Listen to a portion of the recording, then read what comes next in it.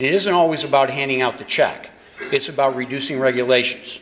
It's actually reducing the cost of uh, trying to conduct business in New York State, and that's my approach.